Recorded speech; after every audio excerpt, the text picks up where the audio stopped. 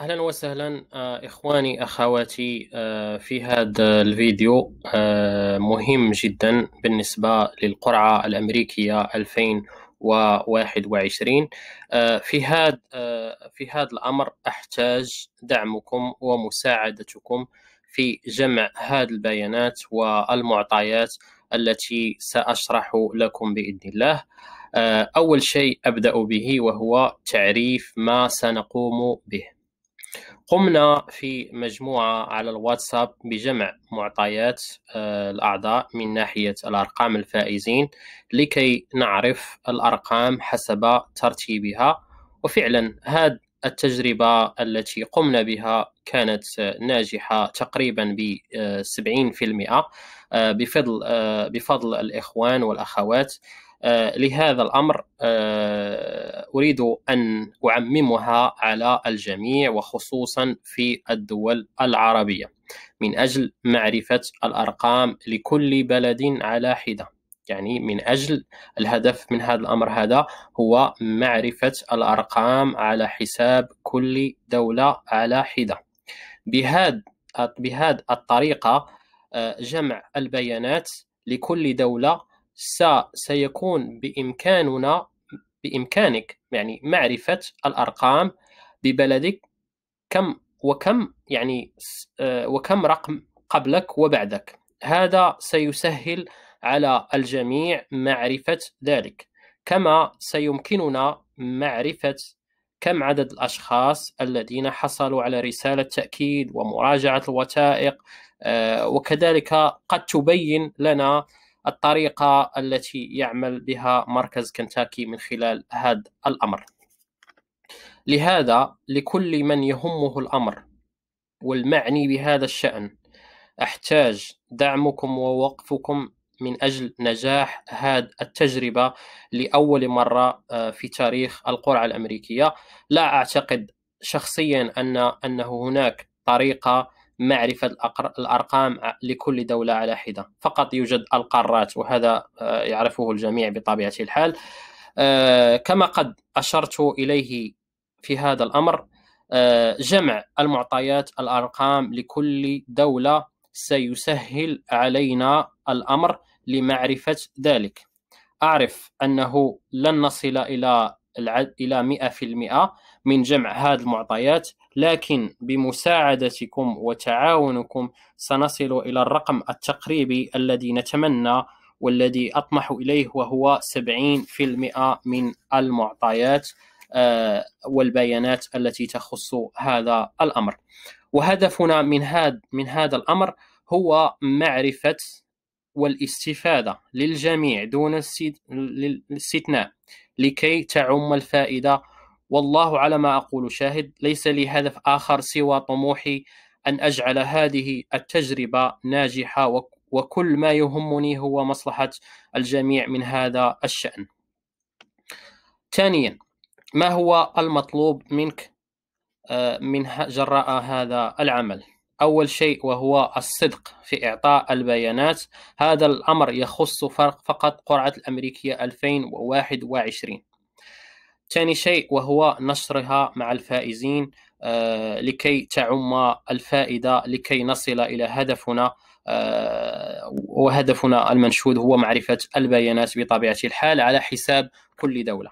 كيف سنجمع هذه البيانات؟ قمنا بإنشاء استمارة أسئلة على الموقع جوجل والتي سأشرح آه، بياناتها كيف تدخل هذه الأرقام. كما ترون على الشاشة هذه هي الاستمارة آه، التي سأشرح لكم. آه، بياناتك فيها في هذه الاستمارات أو الاستفساء هناك يعني بعض الأسئلة المهمة. السؤال الأول هو إدخال رقم ال case number. كما سأشرح لكم على الشكل التالي. ال case number كما ترون على الشاشة يكون على هذا الشكل. يعني إذا كنت من قارة إفريقيا تكتب على هذا الشكل. واحد اثنين ثلاثة أربعة خمسة. يعني مثلا يعني الأهم وهو يعني الرقم يكون على هذا الشكل وليس على هذا الشكل. يعني 12000 آه 12000 آه، كا أو أصفار أو غير ذلك.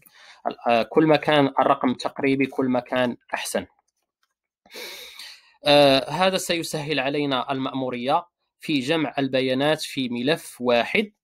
أعرف أن الكل آه يخاف من إعطاء ال case number في هذه الاستمارة نحن لا نطلب منك اسمك أو معلوماتك أو بياناتك الشخصية آه، فقط ال case number يعني ال case number لا نعرف من أنت ومن تكون فقط آه، ال case number ولا وليس آه، الهدف هو أخذ تأشيرتك أو من هذا القبيل. أعرف أنك تساؤلات تطرح كثير بخصوص هذا ال case number آه، إذا كنت يعني إذا كنت تخشى ذلك الأمر بإمكانك إعطاؤنا الرقم التقريبي لل case number بتاعك لكي تتضح لنا الصورة. يعني مثلا إذا كان رقمك مثلا يعني على هذا الشكل.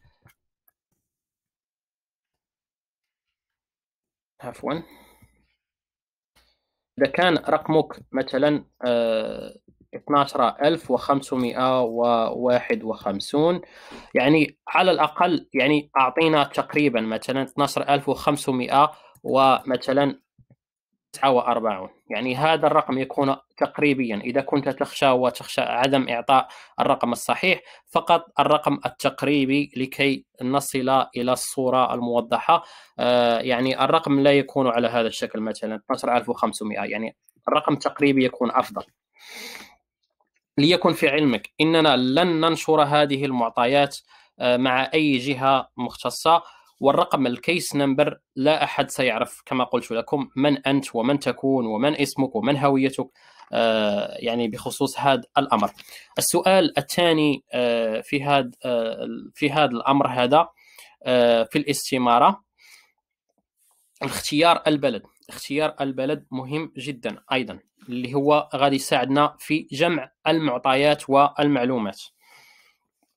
يعني اختيار البلد الذي تقطن فيه. مثلا إذا كان بلدك الأصلي مصر وأنت مقيم في بلد آخر. هنا يجب إعطاء بلد الإقامة والبلد الذي ستجرى فيه المقابلة. يعني البلد الذي ستجرى فيه المقابلة.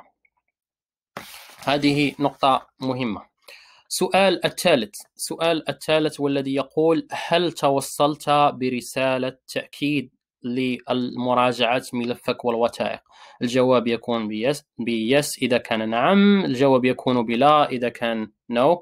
آه السؤال آه السؤال الرابع آه الذي يخص متى حصلت متى قمت بملء الاستمارة DS 260 يعني متى قمت بملء الاستمارة 260 يعني تاريخ إدخال يكون على على هذا الشكل. التاريخ أولا ثم اليوم ثم السنة بطبيعة الحال آه، على هذا النحو. مثلا 2020 غير مثلا تقريبا. آه، لكي آه، نعرف هذه المعطيات بهذا الأمر.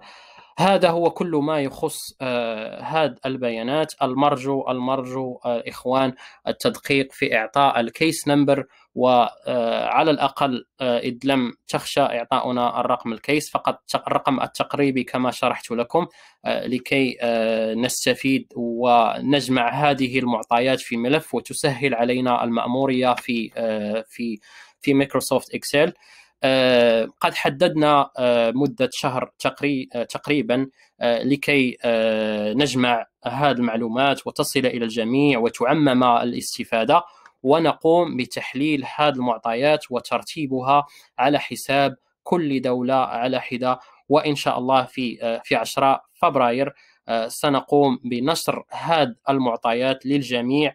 آه، نتمنى آه، من العلي القدير هذه الفكرة وهذه الطريقة تلقى واحد الإقبال كبير من طرف الجميع وأرجو منكم دعم هذه الفكرة ونشرها بين المجموعات الفائزين بالقرعة الأمريكية 2021 آه، والله ثم والله لا يهمني آه، الشهرة ولا ولا شيء من هذا القبيل سوى آه، أن أرى الاستفادة لكم وإن شاء الله أرى أرى الكل حاصل على التأشيرة بإذن الله وتحقيق أحلامكم ومتطلباتكم. والله آه والله يعني يحاسب كل واحد على قد النية ديالو وقد العمل ديالو وشكرا لكم وشكرا لكم من وشكرا لكل من ساهم وكل من سيساهم في إنجاح هذا العمل بإذن الله. وتحية لكم من من أخوكم حسين وإلى فيديو آخر بحول الله. والسلام عليكم ورحمة الله تعالى وبركاته.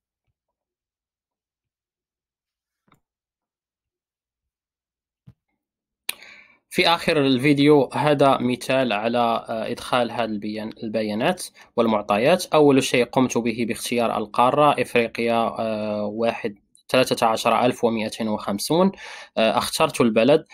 هل توصلت بالوثائق؟ يعني أدخلت نعم. وأخترت التاريخ الذي ملأت فيه الاستمارة دي إس 260 ثم أضغط على submit بهذا تكون قد انتهيت من إدخال هذه البيانات والمعلومات آه، وإلى فيديو آخر بحول الله والسلام عليكم.